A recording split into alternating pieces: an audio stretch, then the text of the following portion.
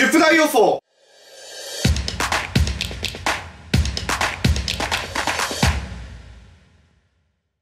どうもじゃ篠原です。今回はですね、出題予想2020年センター試験何が出るのかということについて話したいと思います。えー、篠原はですね、これまで毎年、えー、センター試験何が出るのかっていう出題予想を出してきました。で、まあ、そのね、えー、動画とかを見てもらって、まあ、この主婦大予想が当たるのかどうかをね、信用してもらったらいいと思うんですけど、まあ、占いよりは当たりますよ。そこら辺の占い師に聞いたりとかするよりは多分当たると思うんで、まあ、ぜひね、えー、これを元に、まあ、残り1週間ですね、戦い抜いてもらえたらなと思います。えー、まず1つ目ですね、全体としてなんですが、大きな変化は多分ないです。というのも、これが最後のセンター試験だからですね。で、えー、これが最後のセンター試験なんで、ここで、なんか変化加えたところで、ねえ、みたいな感じのところがあるんで、まあ、おそらく大きな変化はないだろうと踏んでいます。えー、ところが、すぐ変えれるところですね。だから、出題形式を思いっきり変えるみたいな、そういう変化はないかもしれないけど、まあ、例えばリスニングで1回しか聞かせてくれない問題が出る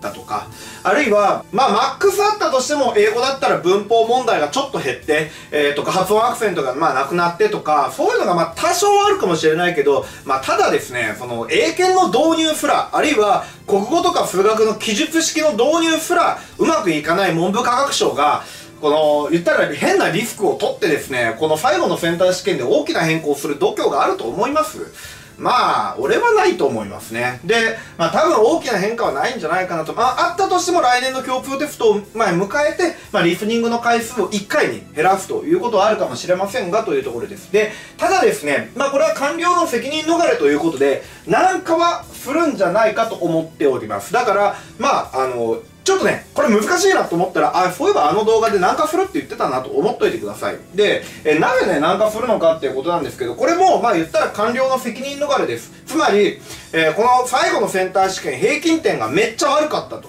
で、次の試験、まあ共通テストになって、めっちゃ良かったってなったら、ほらほらこんな風に、前のテストではこんなに点低いけど、今のテストでこんなに点が取れてるってことは、いいことでしょって言いたいんですよ。ちょっと気持ち難しくしても不思議じゃないぐらいに思っといてほしい。だから、解いてる時にですね、あ、今年難しいなと思ったら、うわ、やばい、どうしようって思うんじゃなくて、えっ、ー、と、まあ、みんなも多分取れてないだろうと。えー、そういえば、まあ、篠原がね、あの教育の天才である篠原がなんかフルっつってるんだから、多分まあ、難しくなったんだろうと思って、まあ、自分の、まあ、心をね、えー、なだめふかしてくれたらなと思います。で、えー、続いて国語ですね。国語なんですが、これはね、多分間違いないんじゃないかなと思います。えー、古文は去年簡単だったんで、えー、今年難化するんじゃないかなと思います。一方、漢文。漢文はですね、えー、去年難しかったんで、ちょっと簡単になるんじゃないかなと思います。で、え、これまで国語はですね、その言語論が現代文で出てこなかったんで、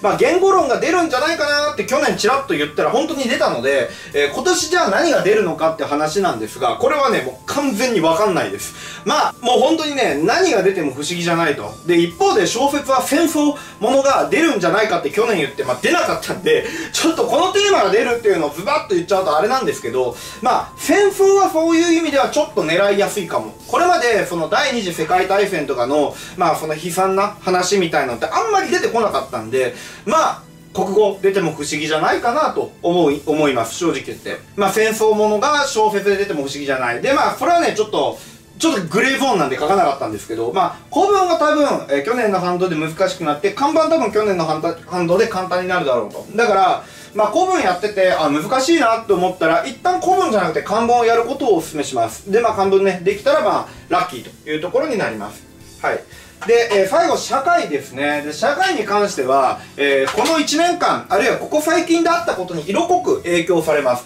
あ、そういえばこういうニュースがあったのと、で、そういうニュースからこう問題って作りやすいんですね。というのも、最近のその、まあ、試験の傾向として、まあ、今あったこととか、最近あったことっていうことから話題を広げていくっていう作り方をしてくるので、まあ、とりあえず最近あったところで言うと、まあ、オリンピックですね。で、あと、言語変わりました。あと、今年 G20 大阪でありりました。消費税増税しました。で、安倍さんがね、えー、これまでで最長の、あの、内閣総理大臣になりましたので、えー、最長の内閣総理大臣ということで安倍さんがまあ踊り出ました。で、あと首里城燃えました。で、新しい紙幣としてですね、えー、渋沢さん、津田梅子で、北里柴三郎ですね、えー、が、あ新紙幣のまあ顔になることがまあ明らかになりましたと、明らかというかまあなりましたというようなことが絡んで出てくるんじゃないかなと思います。例えば去年のオリンピックはどうだったとかね、あるいはこれまでのその言語が変わったタイミングだとか、その、えー、言語絡みの何かっていうのがまあ出るんじゃないかなと思います。あと、チェユの人はね、G20、えー、のその G20 のそれぞれの国の場所ぐらいは押さえておいた方がいいでしょうね。はい、であと消費税増税に絡んでこの租税効果というか、えー、例えば公民の政権の授業とかでその税金が上がったら、えー、どういうふうに需要曲線供給曲線が動くのかとかね出そうですよねであと、まあ、安倍さんが最長の内閣総理大臣になったので、えー、これまで2番目は誰だったのか3番目誰だったのか、まあ、それぞれ調べておいてください。で首里城燃えましたはね多分これがきっかけで出ることはないと思うんですけどまああの首里城はねまあ琉球ですよね。お沖縄っていうのはまあ狙いやすいところではあるので、えー、日本史、世界史、あと、整形のね、人は、この首里城ということに絡んでですね、沖縄の復習しておいた方がいいと思います。あと、渋沢、津田、北里でね、この3人に関しては、新しい紙幣が発行されるね、そうだね、1人は誰だったかな、あ、渋沢栄一だね、みたいな感じで、こいつの話とかね、が出ても全然不思議じゃないんで、まあ知っといてほしいなと思います。特に、えー、これまでの夏目ですね、夏目だとか、あとかとの比較の中でこの津田が出てきたりとか北里が出てきたりね、えー、するんじゃないかなと思いますので夏目とかこれまでの練習も余裕がある限り、まあ、見といてもらえたらなと思いますはい。あとはですね、まあ、数学、理科、あ英語とかに関しては、まあ、そんなに大きい変化はないのかなと。まあ、いろいろ一般論で言ったらあるんですよ。だから、まあ、篠原がね、その、あの予備校とかの詐欺的な的中みたいなのをやりたかったら言えることいっぱいあるんです。えー、例えばですけど、まあ、社会ね、社会はおそらく資料問題が出ます。あの、資料を読み取って、それから答えを出すみたいな多分出ます。あるいは、理科で言うと、まあ、ちょっとね、これまでの現実世界というものに即したちょっと実験系の問題が出るんじゃないかなと。だから普通に公式を覚えててそれをズカンとはめたらできるみたいな問題じゃなくて、ちょっと今まであんまり見たことないであろう、こういう実験してみたんだけど、君どう思うみたいな、そういうのが出たりとかするでしょう。まあ数学は多分例年通りかな。だからいつも通りのことをいつも通りやってくれたらいつも通りの点が取れるはずです。でまあ英語はね、さっき言ったようなちょっとした難化があるかもしれませんが、まあ、いずれにせよですね、えー、ここで話したこと、全部俺の妄想です。全部俺の妄想、当たるも八家、当たらぬも八家ですが、おそらくそこら辺のまあ予備高校士とかそこら辺の占い師よりは多分的中するんで、まあこの辺のことをちょっとどうかなと思いながらチェックしといてもらえたらなと思います。